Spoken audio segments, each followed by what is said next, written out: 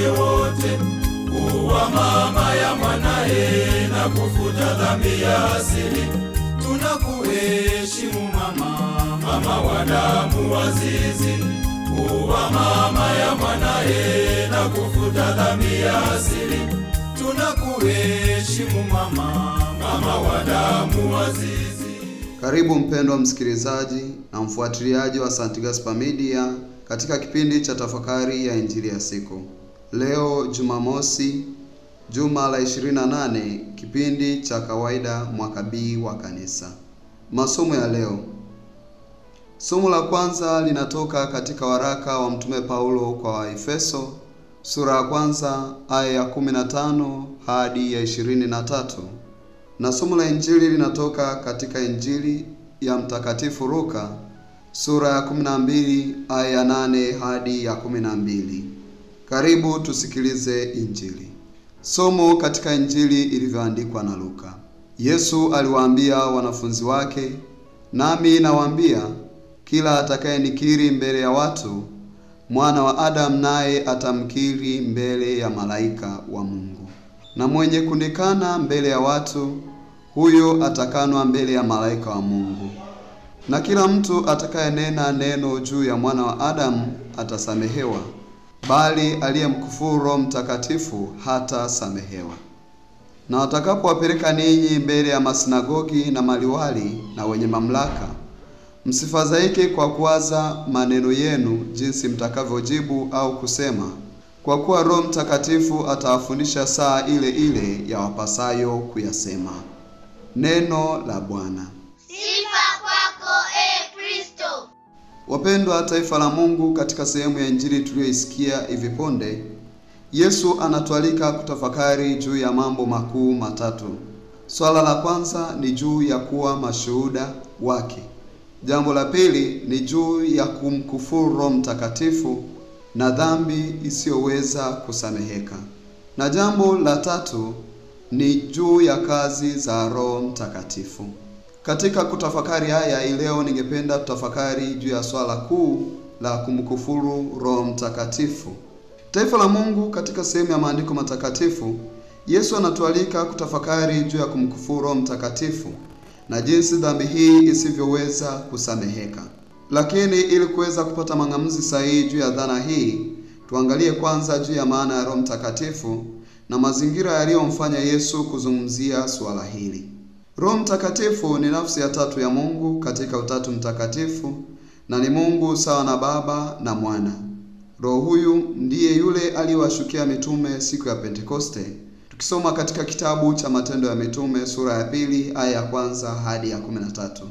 Ni Roho yule yule ambaye amekuwa akiliongoza kanisa kwa nyakati mbalimbali tangu manabii mpaka sasa na kutenda kazi katika sakramenti mbalimbali za kanisa. Roho huyu anajulikana kama msaidizi, wakili, mfariji, roho wa kufanywa wana, roho wa Bwana na roho wa Kristo. Wapendwa taifa la Mungu, Kristo baada ya kumponya mtu aliyekuwa bubu na amepagawa na pepo, waandishi na Mafarisayo wanasema anatoa pepo kwa uwezo wa Beelzebuli, yaani mkuu wa pepo. Waandishi hawa na Mafarisayo wanahusianisha kazi ambazo Yesu anazifanya kwa nguvu ya Roho Mtakatifu na nguvu za giza, yaani wanapinga utendaji na uwezo wa Roho Mtakatifu anayetenda kazi ndani ya Kristo. Kumbe, kwa kutazama muktadha huu, twaweza pata mang'amuzi juu ya swala zima la kumkufuru Roho Mtakatifu kuwa ni kukataa kwa makusudi juu ya utendaji wake na kunena tofauti au yale yaliyo kinyume na roho huyo. Katika historia ya Wayahudi, Roho Mtakatifu alikuwa na kazi mbili. Mungu alimtumia roho huyo kuzungumza na wanadamu, lakini pia mwanadamu alifahamu kweli za Mungu kwa njia ya Roho Mtakatifu. Kumbe twaona kuwa si kwamba hawa waandishi na Mafarisayo walikuwa hawajui Roho Mtakatifu, bali kwa sababu ya wivu, ubinafsi na maslahi yao binafsi waliamua kumtuhumu Yesu ili watu wasimwamini wala kuziamini kazi zake. Ndiyo maana baada ya Yesu kuona hayo, anazungumzia swala zima la dhambi isiyosameheka. Wapendwa taifa la Mungu, kuna nyakati hata sisi tunaweza kujikuta katika mazingira kama hayo ya waandishi na Mafarisayo, ya kukataa utendaji wa Roho Mtakatifu katika watu tunaokutana nao. Kuna nyakati tunapoona wenzetu wanafanya vizuri, tunaanza kuzihusianisha kazi zao na nguvu za giza, uchawi, kafara, furimasoni, wizi na kadhalika, lakini tunasahau juu ya utendaji wa Mungu Roho Mtakatifu katika matukio ya kila siku. Katika waraka wa kwanza wa Mtume Paulo kwa korinto Mtume Paulo anatuambia, na Mungu ameweka wengine katika kanisa, wa kwanza mitume, wa pili manabii, wa tatu walimu, kisha miujiza, kisha karama za kuponya wagonjwa na masaidiano na maongozi na aina za lugha. Hii inaonyesha kwamba Roho Mtakatifu anatenda kazi kwa watu kwa namna mbalimbali. Hivyo tunaalikwa kuepuka mazoea ya kuweka tafsiri katika kila kitu. Tuepuke kushindana na watu kwa ajili ya maslahi yetu binafsi. Daima kushindana na wenzetu, kuna nyakati tutajikuta tunashindana na Mungu kama waandishi na Mafarisayo walivyofanya. Hivyo leo Kristo anapozungumzia juu ya swala zima la kumkufuru Roho Mtakatifu, tujiulize ni mara ngapi tumemkufuru huyo kwa kupinga utendaji wake katika matukio ya maisha ya kila siku, lakini pia katika wale wenzetu tunaokutana nao wakiwa na uwezo na waliobarikiwa kutenda mambo mbalimbali ambao kwa namna moja ama nyingine, wakati mwingine tunaona yanaenda zaidi au mbali na fikra zetu na uwezo wetu wa kibinadamu. Taifa la Mungu, tutambue kwamba mtu ambaye hajui dhambi na umuhimu wa sakramenti ya kitubio hawezi samehewa. Maana yake daima anajiona ana jambo la kuungama. Kabla ya kujongea kiti cha maungamo, wakati tunamwomba Roho Mtakatifu ili atusaidie kuyatambua makosa yetu, kuyajuta kwa moyo, kuyatubu kweli na kupata kuyaacha. Kumbe bila msaada wa Roho Mtakatifu ni vigumu kupata msamaha wa dhambi, maana mtu hawezi kutambua dhambi wala kuzitubu vizuri. Lakini pia tukikataa juu ya utendaji wa Roho Mtakatifu, ni vigumu kupata mang'amuzi sahihi juu ya hali yetu ya kiroho. Daima tunakataa juu ya utendaji wa Roho huyo. Mara nyingi tunapofanya mema yaonekane mabaya na mabaya yaonekane ni mazuri. Hivyo kwa namna hii inakuwa ni vigumu kwetu kupata msamaha na maondoleo ya dhambi, na hivyo bila msamaha tunakufa katika hali ya dhambi na hivyo kukosa msamaha.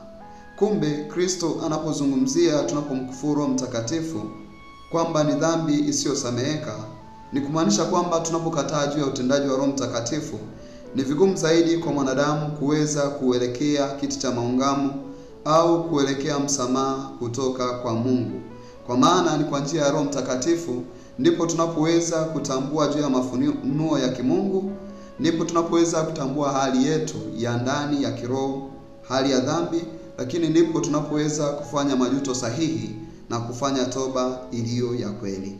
Hivyo basi tumwombe Mungu ili tuweze kutambua juu ya kazi za Roho Mtakatifu na utendaji wake katika maisha yetu ya kila siku na katika maisha ya wenzetu tunaoishi nao, lakini pia tuombe maongozi yake ili tuweze kutambua mapenzi ya Mungu na kuyatenda kwa uaminifu zaidi. Ninakushukuru kwa kutafakari pamoja nami injili ya leo. Niliyekuletea tafakari hii ni mimi Frateri Christian Katushabe John wa shirika la misionari wa damu takatifu ya Yesu kutoka seminari kuu ya Mtakatifu Gaspari Kola, Morogoro. Itukuzwe damu ya Kristo! Milele amina.